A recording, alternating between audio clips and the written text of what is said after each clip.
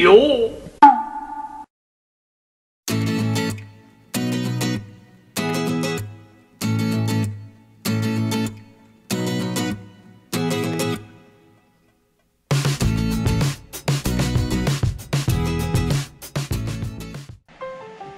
はいどうも。えー、じゃあやっていきましょう。続きをね。えー、さあ前回まで粗めで仕上えー、コンパウンド粗めのコンパウンドでいきましたから。今日は今日からは、えー、細め仕上げ目えー、あとセラミックコンパウンドっていう風にねもう仕上げた段階の、えー、方に入っていきます。もうここからパパパパッと一気にいきますね。えー、まああのもうここから細めになってきたから細めからはもうこう縦横でねもうやるっていう感じで。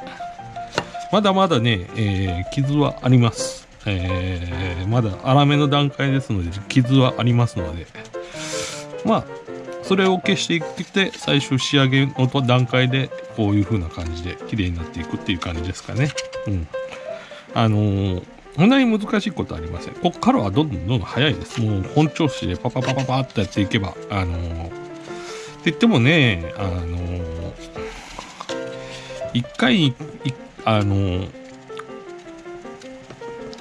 どんなに頑張ってもね、あの、コンパウンドとコンパウンドの間にはね、あの、どうしても間で、一日乾燥期間、あの、必ずコンパウンドをやった後には、あの、その、洗浄が入るので、コンパウンドを塗ったした後ねあのコンパウンド面を落とすための洗浄が必ず入りますので、えー、どうしても間にその洗浄した後乾かすっていうのがあるのでどうしても1日の余裕がありますので期間が間がインターバルがどうしても発生しますのでそれはもうあのもうどんなに頑張っても1日1個しかできないっていうのは制約はありますけどね。うん、でもそれでもまあドドドドッといけば、うん、いいという感じで。あのもう仕上げ目この細めぐらいに入ってくるともう。あのそんなにスピードはかかりません。あの時間的にもそんなにかかりませんのでね。もう勢いよくやっていきましょう。ただの勢いよくやりすぎてね。あのパキって割らんようにね。うん。あの注意だけしとけば。ね、大丈夫かなと思います。が。ね、ということで、これ今天井だけやったんですけど、で、天井だけでもなんかちょっと違うでしょ？艶が変わってくるでしょ？ね、これが天井ね、こっちが、まあ、ボンネットまだやってないとこ、天井とね。これまだ傷はちょっとあるんですよ。傷がちょっとあるから、まだ、あの、こう、しっかりと、コンパウンドはかけていくんですけれども、それでも、こう、一回かけただけでも、こんだけの差が出てくるっていうことはやっぱりあの目が変わるとそれだけねあの目があの傷が消えていくっていうことになるんで。ね傷が消えると消えるですからね。嬉しいあのやってる作った本人もねあの嬉しいですからね。そこはもうあのあのこれあの多分ね塗装よりも何よりもこの研ぎ出しがあの最初のあのあの荒の仕上げの研ぎ出しが一番ねあのボディをきれいにするタイプの人の中ではこの工程が一番やっぱり大変だと思うんですよ。どれだけ綺麗に仕上げるかっていうのがやっぱりねあのここで出てきますんでねうんそれでもだいぶ変わってきますよね。こんな感じで。これでもまだ細めですからね。あと2工程ありますからね。で、あの、無理に力入れて、あの、変な、変に持って、あの、パキッと割らんようにだけね、注意して、ね。そこだけは注意しましょうね。僕は何回もやりました。パキッと割るのはね。こんな辺とかよくひびが入るんですよ。ね、この A ピラーの上下とか、上とか下とかね。あとはこういう細いとことかね。こういう細いとこ割ったらもうあの、もう目は当てられない惨状でしたね。惨状ですよね。ね。あれだけは悲しいですよね。でね、面白いのがね、その、この前、まあ動画外で、あの、どこの動画を始める前から作ってたやつが、あの、あったんですよ。アベンタドールね。で、それはもう、あの、動画外で作ったもんで、こっちの動画には上げてないし、話も、まあまあまあ話でぐらいには上げたかな。うん、上げたかもわかんないですけど、その、アベンタドールがね、もうあの可動式ですよ。あっちもこっち青青島青島さんおとおとお得意のあっちもこっちも稼働するタイプですよドア開くねあのボンネットああボンネット開かないのか。ああいやリアリアだから開くんか。ドアとね。ガルウィングが開いてガルウィングとボンネットが開くっていうね。あれね。あのもう涙に、ね、出ましたね、もう。もう一個一個の構造がちっこい上にね、複雑でね、でしかも合わないしね、合わせをし、どんなに頑張ってもそこ、合わせをどんなに頑張っても合わないんですよね。結局、その、あの、ピン、ピンとかのね、その、すり合わせができんことにはもう、ね、どうやっても合わない。もうね、諦めました。あの、あの、後ろのハッチは割れるしね。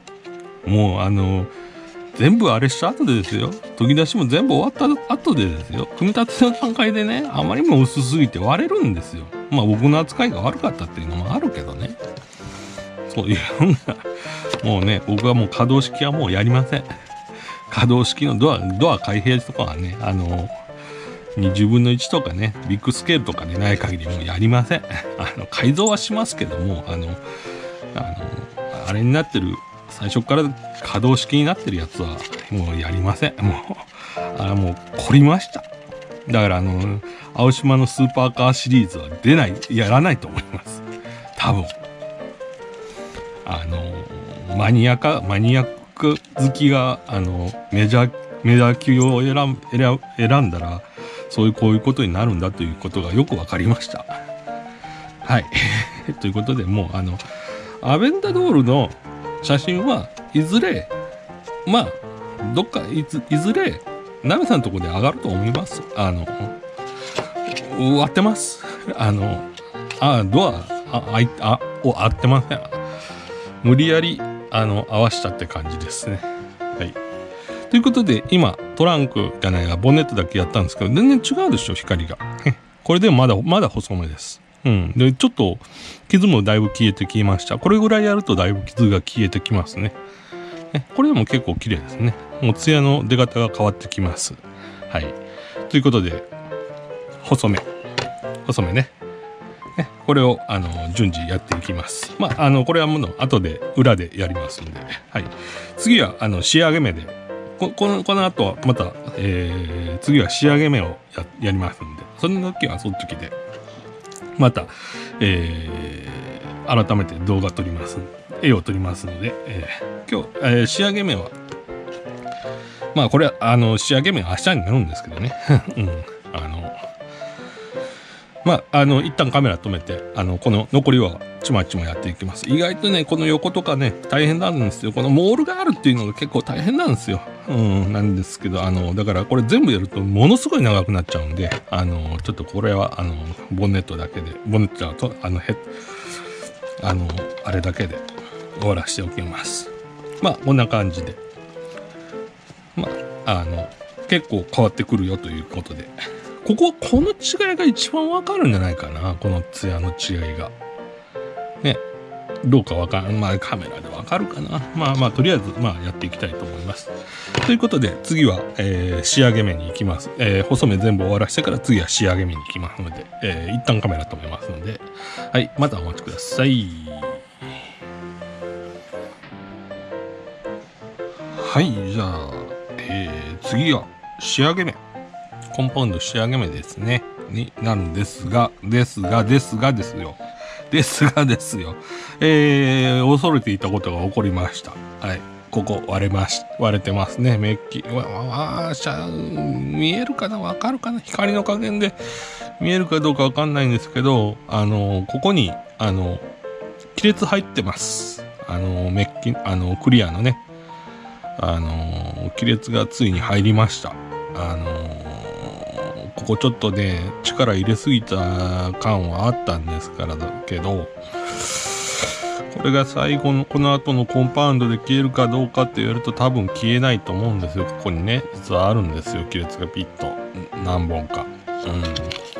うん。で、こっちにも同じように亀裂が何本かあるんですよ。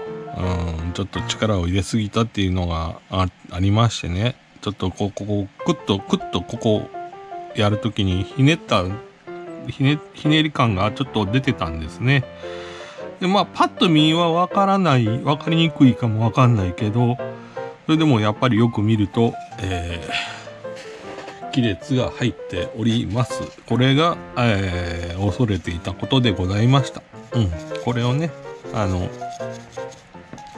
予想はしてたんですけどもね。まあまあ、やっぱり今回も、今回は出ちゃったかと。前回のね、あの、S13 の時はね、意外とね、気を使ってやってたんですけどもね、あの、今回は、ちょっとまあ、いろいろ改造しているというのもあり、あのー、まあ、あと、もろもろと事情がありましてですね、あのー、あのー、ちょっと慌ててたっていうところもありますけれどもね、あの、まあ、こういうことがありますのでね、あの、研ぎ出しの時はしっかり研ぎ出し以降、乾燥した後はね、しっかり気をつけていきましょうということだけ、あの、参考にしていただければと思います。はい、あのもう、あ別にあの、やる気がそがれたというわけではございませんので、はい、亀裂はもう何べんも入れてますので、私はもう慣れっこです。はい。でも悲しいよね。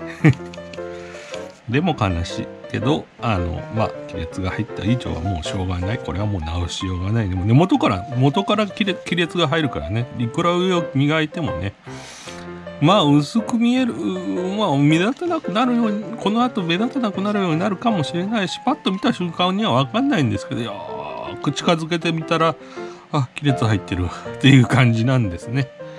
はい。ということで、あのー、まあ、皆さん取り扱いには注意いたしましょうと。あの、思わず力が入っちゃうんですね。コンパウンドってどうしてもこういうあの局面とかね、あの凸凹の多いところとかっていうのは亀裂が入るんですけれどもね、入りやすいんですよ。あの、だからあまり力を入れるということをしたら、あの、まあ、こういうことが起こるというふうに思っていただければ、あの、幸いでございまして。はい。ということで、もう、あのー、もう細めでもだいぶ、もう、あの、傷は消えてます。あの、基本的なね、最初の傷は消えてますので。で、仕上げ目になるともうほとんどそんなに、あの、パパパパッとやるって感じに近いですね。もう、そんなに言うほど、ゴシゴシと、あの、やるほどの、あの、ことはありませんが、あの、まあ、それでも、まあ、いい、あの、ちょっと、綺麗になってくると思います。ここまで来るとね、もう、あの、目、目の状態がね、どうなってるかってわかんないんですよ。もう、ね、あの、どういう風に、あの、目の、あの、差があるか、仕上げ目、細細め仕上げ目ぐらいになってくると、もうあんまりもうわかんなくなってきます。うん、ただ、あの、仕上げ目はやればやる、やっぱりやったらやっただけ綺麗になりますんで、あの、今回はまあ天井から行きますけれども、で今回、今回のこの、あのあれはどうしてもね、凹凸が多いんでね、あのこう、事故が起こりやすいというのはあるんですけれども、はい、こんな感じ。だいぶ全然わかんないでしょ、もうほとんど。ね。ここまで来るとね、もうね、やってる本人もね、正直ね、あの、わかんないですよ。あの、どこまで綺麗になったかっていうのは。うん。ただ、ただ、あの、綺麗になってるのは確かだっていうのは、あの、間違いないです。はい。はい。それは、あの、あの、出来上がってみてね、あの、改めて見ると、ああ、綺麗に研げてるなっていうのは、あの、実感するんですけど、やってる最中なんていうのはもうね、あの、やってる本人も全然わかりません。うん。正直わかりません。じゃあなんでやるんだって言うて言うて、あの、あの、ここの、このチャンネル、あの、よく、で、よく出てくる言葉ですね。あの、例の、はい、自己満足でございますね。はい。これでも十分綺麗になっていくんですよ。うん。ね、仕上げ目のコンパウンドやるだけでね、こんだけで綺麗になって、どうですか？あんまり差は、あでもちょっ、うん、わかんねえな。わかんないよね。うん。これにさらにセラミックコンパウンドかけよってんだからさ、これはわかんねえよな。うん。うん。わかんないですよ。普通ここの仕上げ目やった時点で終わりでもいい、いいぐらいなんですよ。あとはもうあの、ワックス塗ってもいいぐらいだと思うんですよ。でそこにさらにセラミックコンパウンドをかけようっていうね。あれ、あれなんですからね。おめバカやりすぎだよって言って 言われてもね、あの、いいくらいで、いいくらいでございますよ。うん、正直ね。うん。なんでそこまですんのって言って。うん。言われてもしょうがねえよ。っていうぐらいの、あの、研ぎ、研ぎ量でございますね。うん。え、はい、こんな感じでございます。まあ、で傷はもうほぼ、ね。もう、あのー、もうね、蛍光灯が映るぐらいまではね、綺麗になってると思いますね。綺麗に蛍光灯が映るぐらいまでになってますね。ね。あの、うっすら、撮ってるカメラが GoPro だってことも大体なんとなく見える、見えるんじゃねえかっていうぐらいね。あの、うん、本当はこう、本当はね、ソニーのね、あの Vlog カムが欲しいんですけどね、あれ高いでしょ？うん。あの、何べんも言いますけどね、うちの財務大臣はね、厳しいんですよ。あの、あの、欲しいの？って言って言って、うん、欲しいって言って、うん、ああ、そうって言って終わりですからね。うちの財務大臣は厳しいですよ。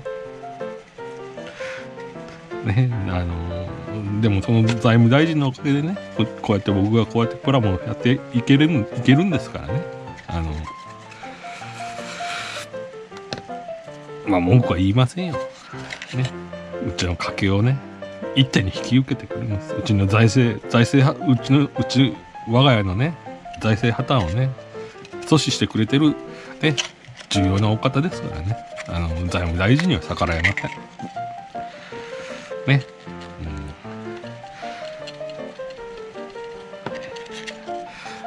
うん、もう、あの、そういうのはね、あの、素直に従いましょうね。皆さんね。あの、そういうの、そういうのに逆らってもね、あの、うちの嫁見たら怒るだろうな。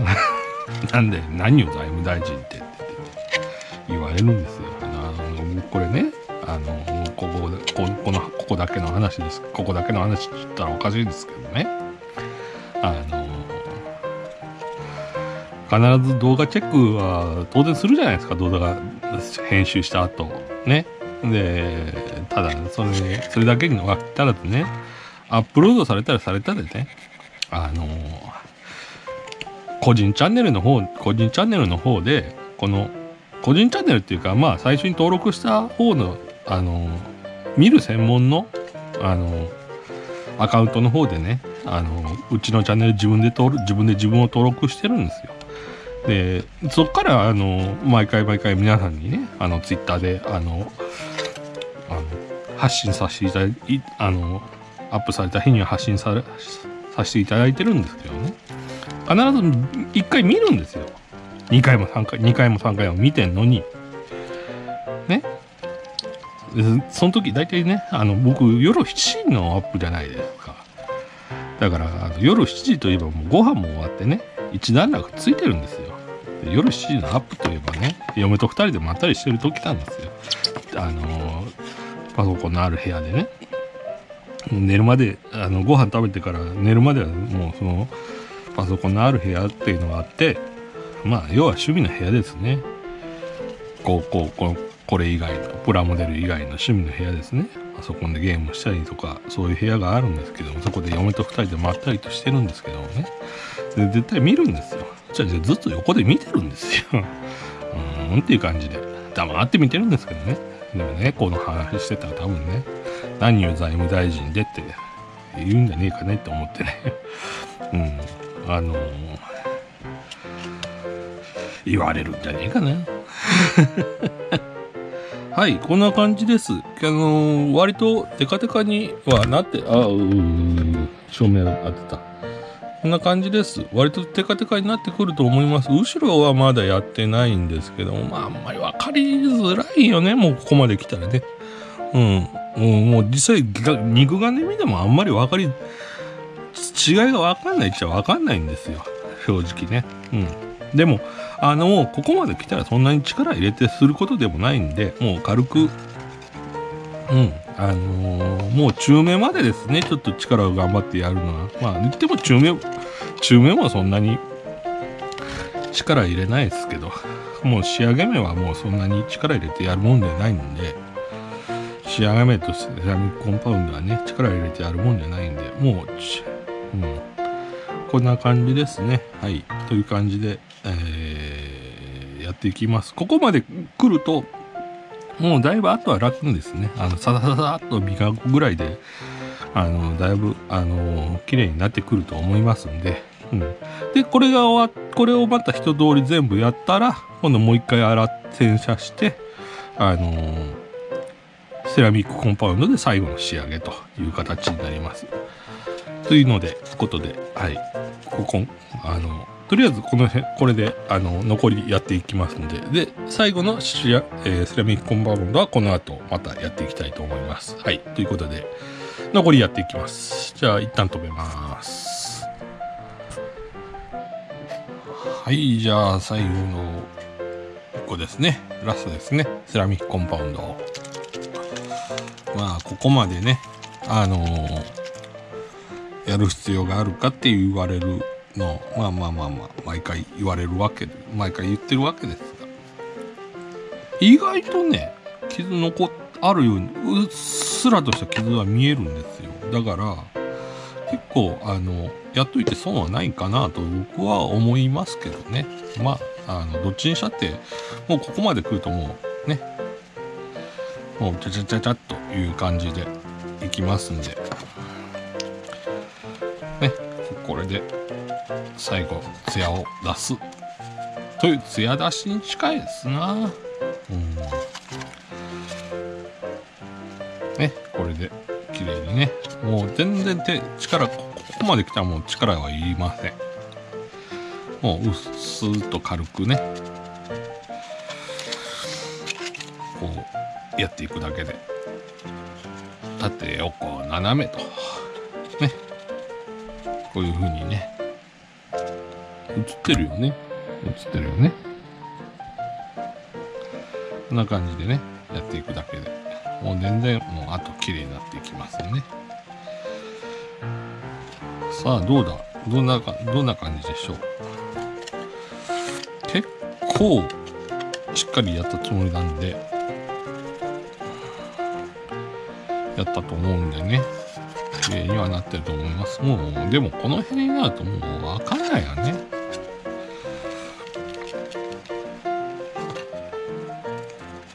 もう、あの、その人の見た目の感覚だけになってくるんかもわかんないですけど、でもやっぱり艶は出ますよ、しっかりとね。ね。かなり指も、指指までは映らんか影になっちゃうからな。映らんけど。うん。もうここまで来たらもう力も入れませんし、まあまあもともと力入れてやるような仕事では、あの、コンパウンドはそんなにないんでね。特にセラミックコンパウンドになるともう力も入れませんね。ちょっと軽く押さえる程度のレベルで多分十分いけると思います。どうだろうどう？ですか？綺麗、綺麗になったと思いますよ。ね、これで十分。ね、ここまでやったら、あの、十分納得のいく仕上がりになるんじゃないかなというふうには思っております。ね。どう？綺麗でしょ？ね。綺麗すぎて、その、クリアの下の塗装の粗が逆に見えてくるぐらいのレベルになってくるんで、うん、あの、そこまで来てたらもう間違いないとは思います。はい。ね。ただこのエピラとかは、あの、ああの、頑張って、あのー、なんていうの？あの、力入れすぎたりしたら、あの、割れますからね。僕もすでに一回、一後ろやらかしてますからね。で、おワックス、ワックスがけみたいな感じやと思ってもらえれば、ワックスがけの、普通の車のワックスがけみたいな感じだという感じになってくるでしょうな。まあ、ただこの、こういう段差はね、やっぱり割とね、あの、ちょっと、しっかりと、あの、押さえ、あの、軽く押さえつけて、うん、段差、こういう段差の多い車っていうの、段差が多いとね、やっぱりね、磨きにくいっていうのはあるし、この段差のところがちょっとくすんでしまうっていうのが出てくるんで、そこはちょっと、あの、丁寧にやってあげましょうね。こういう感じでね。これ大体こういう感じで角を角を当てる感じかな。うん。で、やればうまいこと。ここも今、今この辺くすんでますからね。これをこう、こういう感じで。ね。あの、この、クロスのね、こう角、角を当てて、こう、綺麗に。クロスのここのところにちょっと、あの、あれがつくようにあのコンパウンドをつけといてねクロスの角を当てるような感じででやっていくと。どうしてもね縦横できないところとかどうしてもあったりするからね。そこの辺の段差はあの一方向にずっと一方向になってしまうっていう傾向はあの出てしまいますけども。それでもまあ全然違ってくるとは思いますけど。はい。フロントも綺麗になりましたね。ちょっとここがまだ。くすみがあるな。もう全然パパパパッとやる感じで全然問題ないと思います。どうでしょうね。どうだろう。綺麗になったと思いますよ。うん。こんな感じでね。でまあ後ろも後ろと横とね。結局、横のひびは消えませんでしたね。そりゃそうだろうな、消えんわな。あの、根元からひびが入ってるんだから。これね、多分ね、ほんで、あの下地に対してクリアブルーをかけてるわけじゃないですか。だから当然、あのクリアブルーもクリアなんで、もうそこまで割れてる可能性はありますよね。あの、感じ的には。もうそこまで割れてる可能性はあるから、これ、こういう割れは、ひび割れは、ひびはどうしてもね、あの、全部いっちゃいますんでね。まあ、ただ、言うほどわかんないから、もっとね、ひどく割れてたらね、あの、もう見、見、あの、見てられない、目も当てられない状態になりますんでね、もう、かけ、かけたりするんでね、実際ここかけてるんですよ、ここの。ね、ここまあ黒く塗る、あの、黒く塗るか、あの、メッキをするか、メッキの、あの、フィニッシュ当てるかどっちかなんですけど、ちょっと、ちょっと図面を、あの、ちゃんと見てないんで、あれですけど。ね、こんな感じで。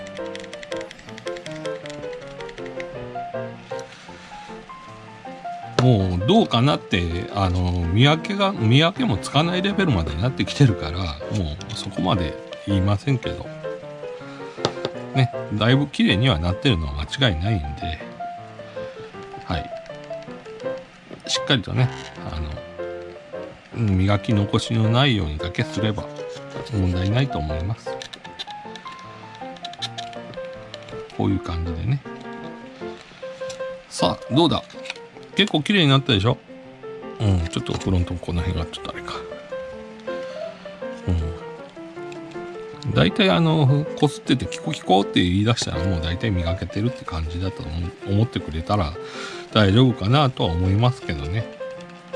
こういう、こういう音ね。こういう音が出だしたら、最初は鳴らないんですよ。こういう音が出だしたらね。もうこのこういう音が出だしたら、まあ、まずまず間違いなく磨けてるだろうと思っていただければという感じでございますな。はい、こんな感じで、まあ、トップ面は綺麗になりました。で、これも最後ね、終わったら、あの、中性洗剤で洗って、ね、残ったコンパウンドを落としてあげましょう。それするだけで全然違うんでね。で、あのー、一つだけ、あのー、まあ、アドバイスと言ったらおかしいですけども、あのー、今までね、まあ、毎回毎回その、コンパウンドとか、あの、取り研ぎ出しをしてした後は、あの水洗い中性洗剤で洗ってあげましょうって言ってますけど、段つここまでこれまあの最初の手前のあの仕上げ面までまあ最初の手前までです。セラミックコンパウンドの前まではあのー、洗った後その濡れた状態で乾燥させても問題はないと思います。あのー、問題ないんですがあのー、水滴がどうしてもねあの後として残るんですね。で、あのまあ、あのその後続けてこうやってコンパウンドを続けていく場合は、それついてても、その上からコンパウンドまたかけちゃうんで、あの特に問題はないんですけど、あのこの最後の仕上げのコンパウンドが終わった後、まあ当然、あのこれも中性洗剤で洗浄はするんですが、あのその後ね、あの乾かす時にね、できれば、このエアブラシのエアでブワーッと表面だけでもいいから、表面だけっていうか表面だけ？表面だけ、あの、エアで水滴を飛ばしてあげてください。あの、出ないと、また、あの、水滴の玉が残ると、まあ、吹けば消えるんですけど、まあ、余計にね、変になんか、あの、玉がついてるよりは、跡がついてるよりはね、その跡がなく、見えなくなる方がいいんで、あのこの最後のあの研ぎ出しが終わってあの洗車した洗車っていうかああの中性洗剤で洗った後乾かす時にはあのエアーで水を飛ばしてあげましょう。まあ一番いいのは毎回毎回全部エアーで水飛ばしてあげるのもいいんですのがいいんですけどあの僕はどうせあのあれするからって言っていつも今もここまでの段階の乾燥の時にはあのー、飛ばさ水飛ばしたりとかしてない。そのまま乾燥させてたんですけども最後の時だけは必ずエアーで水を吹き飛ばしてそれであのー、ね水滴が残らない状態に内側はまあいいですよ。表側だけでもねあのー、水滴を飛ばしてねあげるとあの最後が綺麗。綺麗に仕上がりますよということでございまして、えー、そういうのだけ、まあ、あの気をつけていければ、まあ、もっと綺麗に仕上がりがああのありますので、ね、まあ、そこ、そういうのをやって、やって、やったらいいかな、なんて思います。という感じで、こんな感じで、今、ずーっとやってきました。はい。で、まあ、この後また残り横とかやって、あのー洗浄して乾燥させますけれども、その後、これ、今回、こいつに関しては、あのー、割と塗り分けが多いです。で、今回この、モールもあるし、サイドモールもあるし、このドアモールは、一応、あのー、えっ、ー、と、黒な、あの、艶消しの黒になってるんですね。この辺ね。で、こいつは塗装します。で、ここにメッキモールがさらにあるんですけども、これはフィニッシュでいくんで、えー、ちょっと、とぎ、あの、いろいろと、ちょっと今、次回は、あのー、塗り分けをしていくと思います。で、塗り分けをするんで、まあ、あの、次はまあ、その、塗り分けの準備と、あの、塗り分けをし、塗り分けを済ませる。黒だけですね。黒の塗り分けをしていこうと思っておりますので、まあ、そういうところそういう感じになると思います。ということで、今回、仕上げの取り出し、ここまでやってしまいましたので、まあ、こんな感じでやって、あの、参考になればと思いまして、思います。では、また次回、えー、次は塗り分けになってきますので、じゃあまた次回お会いいたしましょう。さよなら。